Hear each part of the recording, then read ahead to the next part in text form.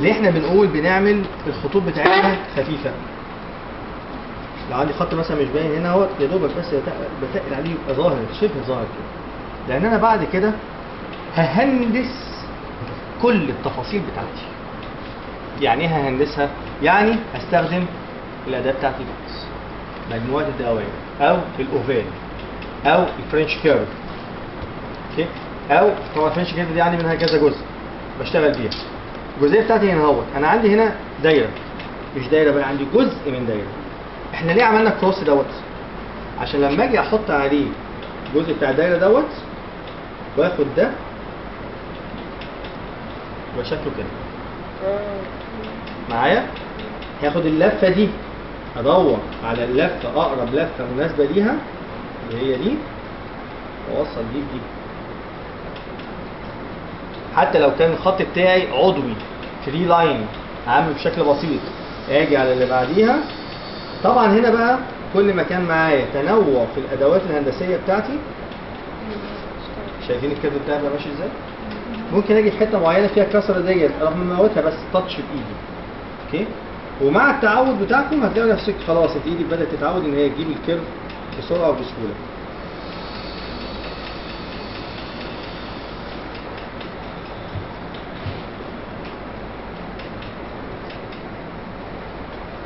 ممكن اخد يا دوبك جزء بس جزء من curve جزء. just جزء. حتة صغيرة قوي اللي باخدها وابدأ ألف تاني. يفضل طبعا وأنا شغال في المرحلة ديت بيبقى حواليا الدنيا رايقة لأن دي بلف وبروح وباجي بيها. okay؟ شايفين ال curve بقى شكله إيه؟ ليه إحنا قلنا في الأول هنعمل خط خفيف؟ عشان الخط التقيل دوت يظهر معايا. في حد معاه قلم تحبير؟ أنا أنا. دوت ماشي okay علشان بعد كده هعيد على الرصاص بالحبر.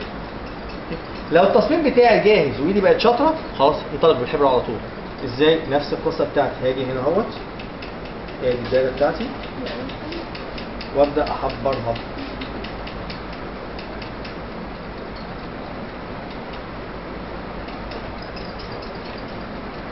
لو هاجي على جزئيه من الجزئيات ديت آه بصوا عندي ال curve دوت ده ال curve ده مش هيجي معايا بدايره ده هيجي معايا بالاوفال اذا يبقى لازم يبقى مجموعه هي مجموعه من الاسطمبات ديت يفضل طبعا بجيب الاسطمبه تكون ماركتها نظيفه علشان تديني اكل لأن أنا بعد كده هعتمد على الكورسات بتاعتها ديت في اسطمبات بتبقى صيني والحاجات ديت ما بتبقاش مظبوطه قوي شغلك يبقى على شعره ما. فيش هوا فيها خارج منك عشان كده كل ما بقى معاكي تشكيلة وكل ما عينك بقت بت- بتذاكر كتير. آه بصوا هنا خدنا إيه؟ يا دوب خدت ال curve بس ده عشان يجي مظبوط. أجي الجزئية اللي بعديها وال curve تاني. okay. أجي هنا أهوت أرجع لمجموعه الدوائر بتاعتي.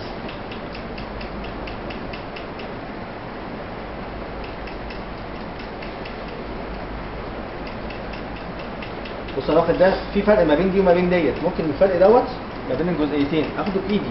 تاتشايه خفيفة كده اهوت عشان ما يبقاش كسر عندي. واكمل الشغل بتاعي. طبعا أنا نقيت حتة عضوية قوي لأن أنا عارف إن إحنا لو قلنا هندسي الناس كلها تقول لك إيه؟ لازم الهندسي القطعه بتاعت دي لازم الهندسي اللي يكون إيه؟ كده. لا. يعني القطعة ديت هندسية أهي. حاجة أشتغل عليها إزاي؟ هنا بقى يبان إيه؟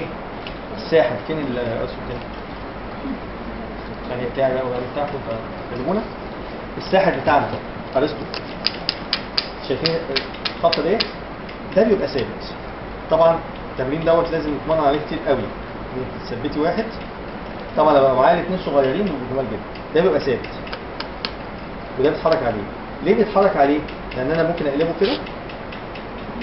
أوكي؟ واخد آه طبعا الكورس بتاعك مش مش عادل على الورق الكروس بتاعي يكون عدل في نص الورقة بالظبط.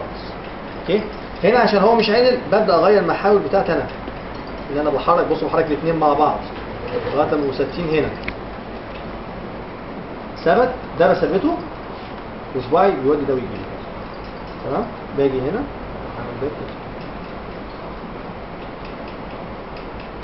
ازقه شوية.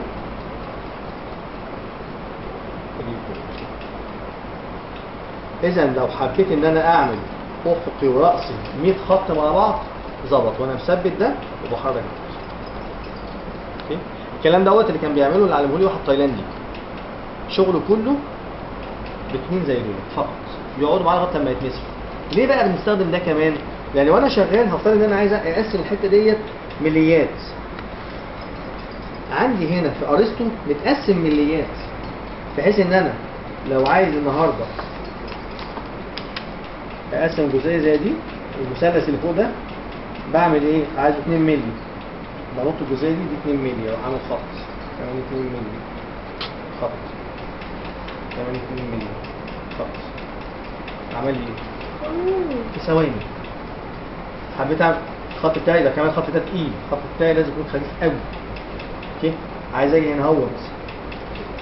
وأنا شغال. عايز أقفل هنا. أنا شخصيا بحب جدا وأنا شغال أروح أعمل خط في أول التصميم وآخر التصميم من فوق ومن تحت.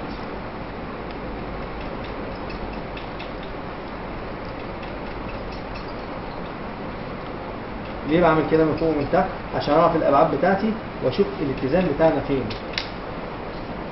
لو في حاجة مشكلة في الاتزان أو في الكتلة بتاعتي.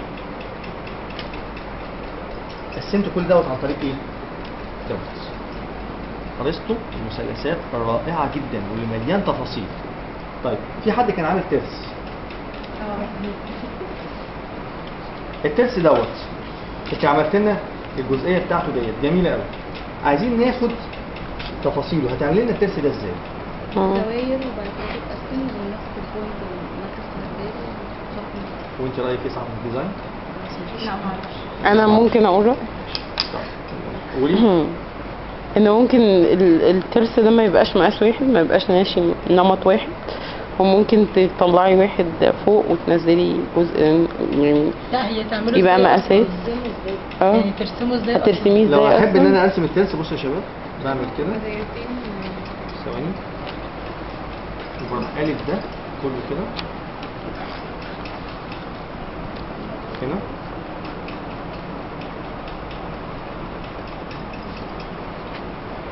إحنا عندنا هنا أهوت منقلة صح؟ هاجي هنا اهوت 10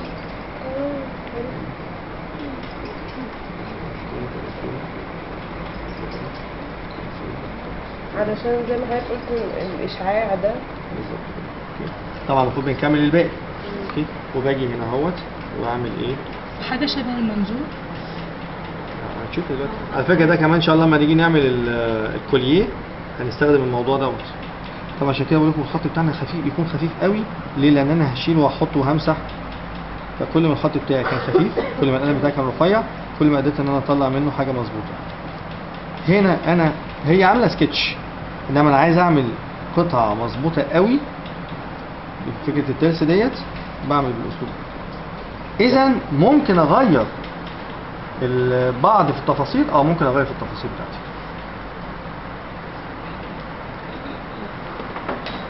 أوكي عندي الجزئيه بتاعتي اهي معانا يا برجل؟ في عندنا برجل؟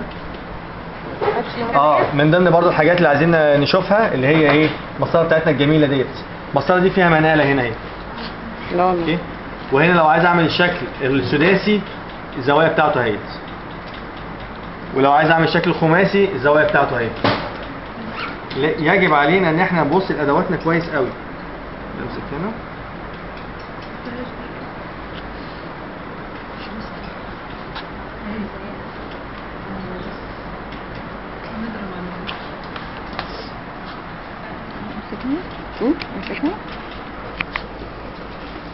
هو أنا طبعا في عندي ال curve بتاعي مش مظبوط. هبدأ أظبطه هندسيا على ال curve اللي أنا بنيته دوت. اذا يبقى دوت معايا كده. أوكي. الكيرفات اللي هي حطاها يدوي هتبدأ كلها